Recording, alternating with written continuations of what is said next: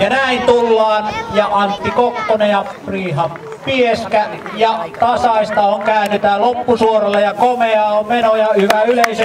Nyt tarvitaan tukea, mutta mitä tekee Priihan?